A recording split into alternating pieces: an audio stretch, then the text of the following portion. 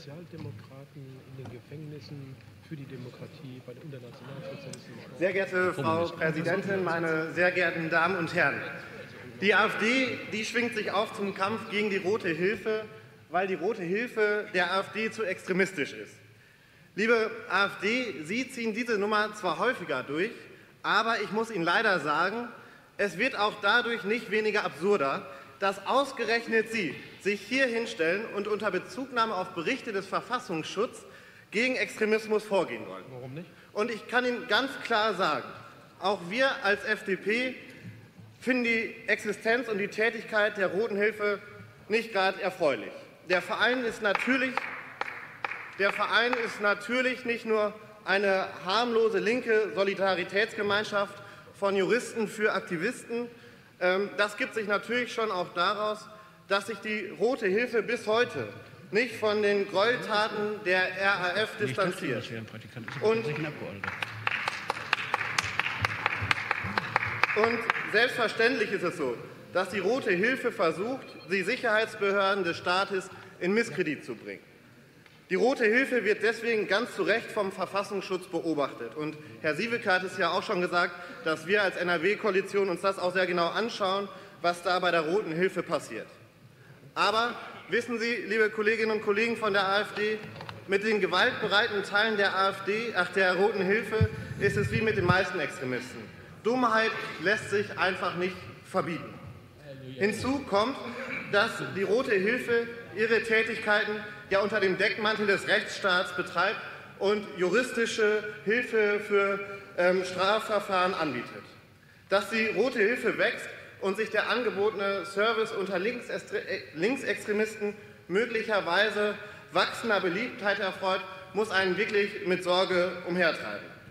Gleichzeitig gilt aber auch, dass jeder Straftäter, und daher, dazu gehören auch linksextremistische Straftäter, in Deutschland das Recht haben, sich, sich juristisch beraten zu lassen und unterstützen zu lassen, ob ihnen das passt oder nicht. Sie werden also mit oder ohne Verbot die Rote Hilfe kaum jemals verhindern können, dass Linksextremisten andere Linksextremisten in Strafprozessen verteidigen und diese Solidarität dann auch entsprechend vermarkten. Das gilt aber übrigens auch für Rechtsextremisten, die sich ja auch gerne gegenseitig vertreten.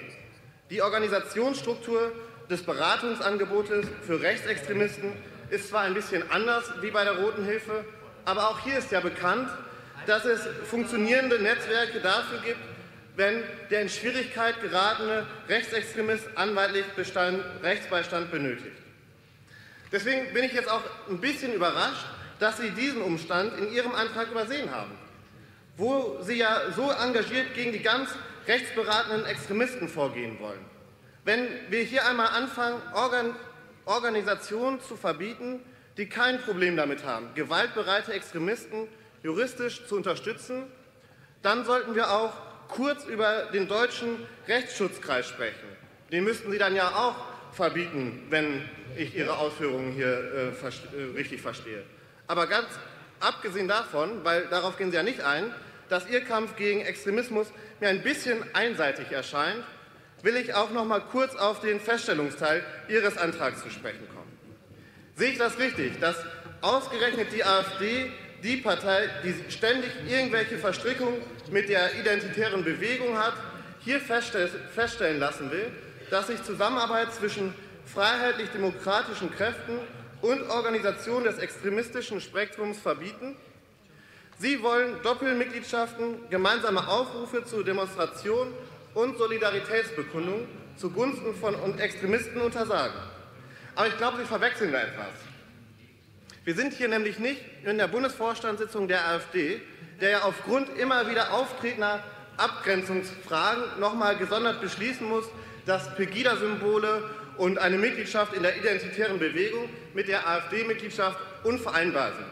Das sind übrigens Punkte, die im restlichen Teil des Hauses eigentlich Selbstverständlichkeiten sind und deswegen keines besonderen Beschlusses bedürfen. Bei der AfD beschäftigt sich hingegen der Bundesvorstand und dann später nochmal der Bundeskonvent, wohlgemerkt nicht der Bundesparteitag mit dieser Frage. Da muss dann wohl doch nochmal von oben beschlossen werden, dass sich die Mitglieder der AfD nicht dass die AfD sich dann nicht mit Rechtsextremisten zusammensetzen soll. Wenn ich in diesem Zusammenhang mal allen mit Abgrenzungsschwierigkeiten zu Extremisten einen Tipp aus der politischen Mitte geben darf. Sorgen Sie doch einfach vor Ort dafür, dass nicht mit Extremisten demonstriert wird, beschäftigen Sie keine Extremisten und verbreiten Sie keine extremistischen Ansichten.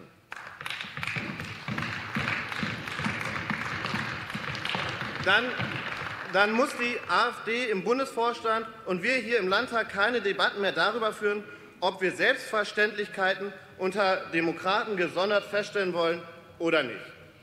Und zu einem weiteren Teil in Ihrem Antrag möchte ich abschließend noch kommen, nämlich zum dritten Teil und da insbesondere zum Nummer zwei des AfD-Antrages.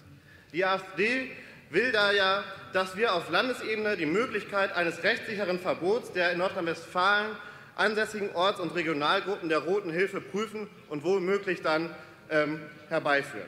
Das ist natürlich wahnsinnig sinnvoll.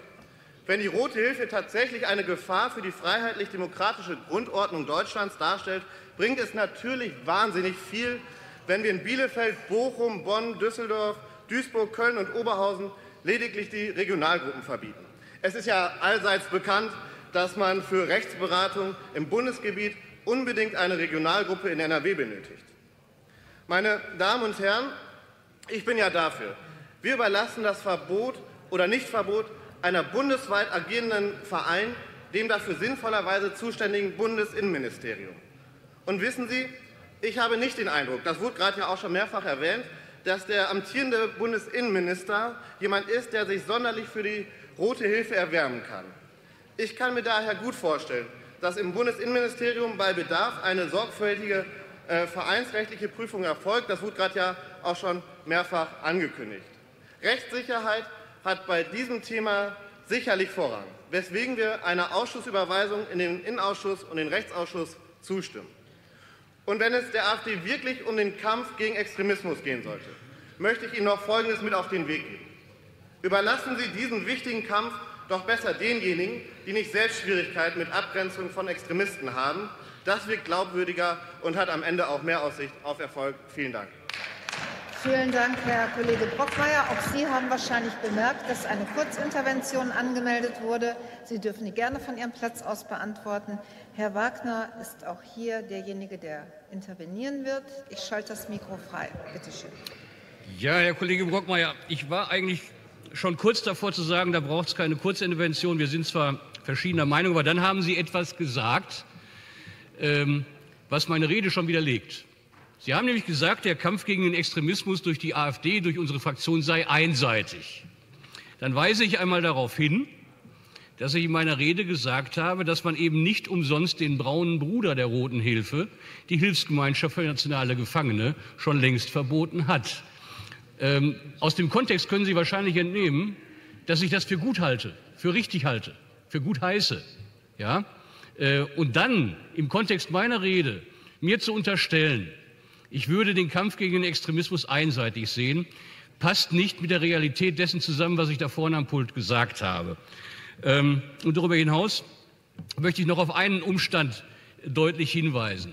Die Rote Hilfe existiert als eingetragener Verein. Das heißt, dieser extremistische Verein ist als gemeinnützig anerkannt. Das muss man sich doch mal auf der Zunge zergehen lassen. Das heißt, sie werden mit Steuergeldern gepimpt.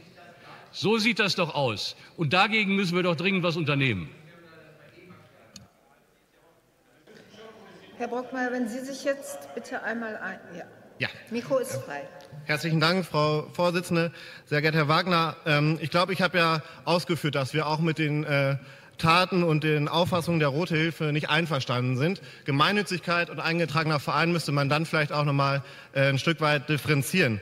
Sie sagten, dass dann ähm, vieles nicht zu, zur Realität passt, was ich gesagt hätte bezüglich Ihrer Ausführungen. Aber es stellt sich doch so dar, dass Sie gerade Ihre Anträge auch vom Wortlaut immer so stellen, dass es immer nur ausschließlich gegen links geht und rechts dann so im Nebensatz vielleicht mal angedeutet wird. Und uns als NRW-Koalition ist es wichtig, eben Extremismus generell zu bekämpfen und nicht auf einem Auge wie bei Ihnen auf dem rechten Auge blind zu sein. Und das mache ich ganz einfach auch daran fest, dass Sie Bewegungen und Strömungen in Ihren eigenen Reihen in der AfD, sei es die junge Alternative oder die Flügel, einfach so gewähren lassen, ohne sich da klar von zu distanzieren. Vielen Dank, Herr Kollege Brockmann.